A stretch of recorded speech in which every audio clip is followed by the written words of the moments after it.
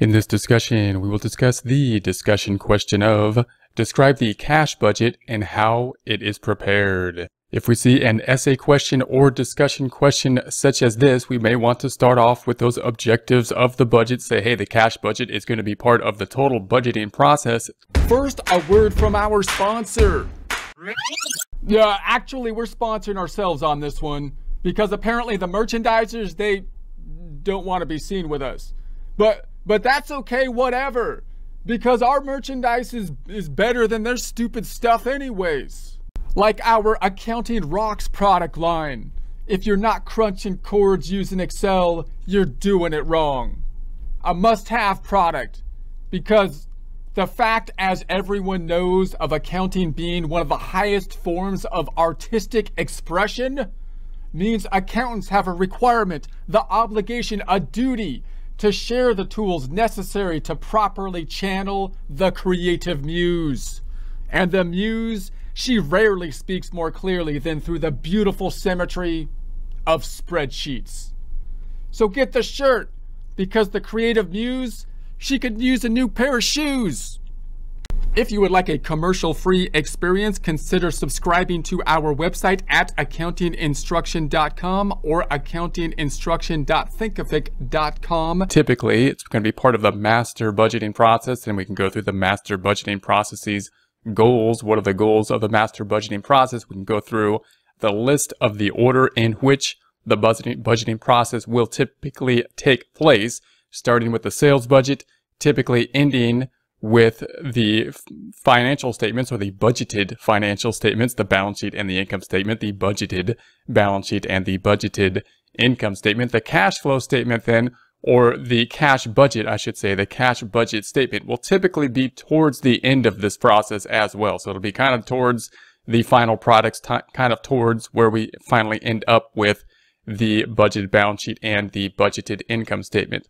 The budgeted cash flow statement is going to be very important to the company as well, because note that as we create our budget, just like when we create our uh, financial statements generally, we generally think of them in terms of an accrual type basis. We're budgeting performance, how we're going to do, how we're going to perform on the income statement, and where we will end up at the end of that point in time, at the end of the year on the balance sheet in accordance with an accrual basis.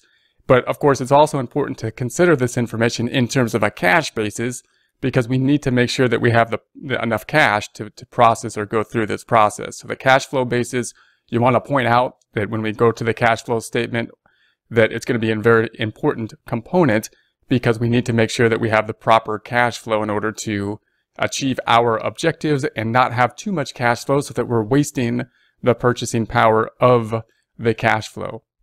The cash flow statement, as we say, will be typically towards the end of the budgeting process so we can kind of figure out what those cash flows will be. We'll need some of the beginning budgets in order to figure out what the cash flow will be. We'll need the sales budget to get an idea of what the revenue will be and therefore what the cash receipts.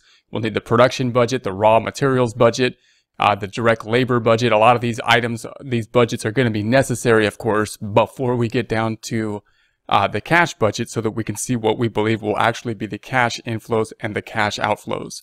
Also important to note that that's what the cash budget is doing. It's measuring the inflows and the outflows of the cash. Therefore, anything that is cash related will typically be in the cash budget. We need to have increases that are going to be cash within the time period and decreases cash related in the time period. That seems obvious, but we got to point that out because it's not as obvious as we may think or may consider because of course uh, the other statement that measures, measures activity over time is the income statement, and it's not on a cash basis. So you could point out things, therefore, that are on the income statement that may not be on the cash flow statement. For example, uh, depreciation is a common example of an item that reduces the net income, but is not on the cash flow statement. There's no cash affected.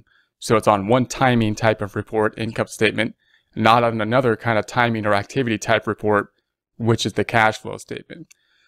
The cash flow statement will also report those kind of timing types of things that won't be on the income statement because they're not they're not part of the basically the performance of that period. So for example, if we were to take a loan or something like that, increase in the loan or to pay off a loan, then that typically isn't on the income statement. The journal entry for that would be increasing or decreasing cash, and the other side being loan, possibly interest expense on the on the or interest revenue, depending on what we're doing on the income statement. But the loan itself and the cash uh, may be a transaction then that shows activity happening from a cash basis to make sure that our cash flow is sufficient to cover our needs, but not too much so that we're wasting the purchasing power of cash.